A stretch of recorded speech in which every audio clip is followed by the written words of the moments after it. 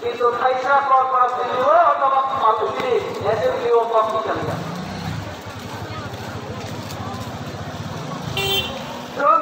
তিনি মন্ত্রী, জনজাতি আশ্রয় মন্ত্রী রবীন্দ্র সরকার দেশটাকে ক্যাবিনেট দপ্তর উদ্যোগে তিনি রাজ্য সরকার দাও কিনা ত্রিপুরা তিনি জনজাতি অভিভাবক অধিকার তিনি সম্মান অসম্মান তিনি পার্টি কখনো ফেলেনি ভোট থেকে চিন্তা বন্ধুরা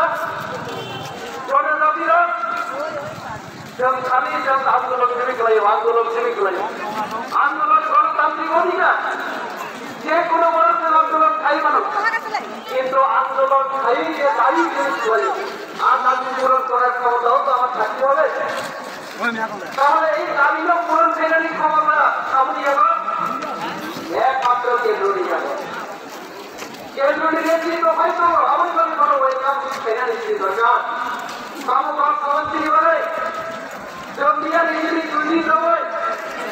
জমি পুরা রাজ্যনি তিনি রাজ্যে আমদানি করে আর বিশেষ করে এই নিয়ে অবসর জনজাতি এমএলএ জনজাতি এমপিসি জনজাতি এমপি যত মন্ত্রী কমিশন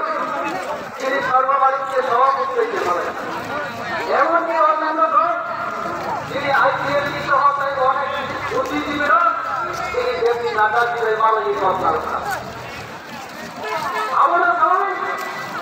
যখন সর্বভারতীয় সভাপতি ভাইরা বলে মাননীয় তিনি কথা করতে আর যারা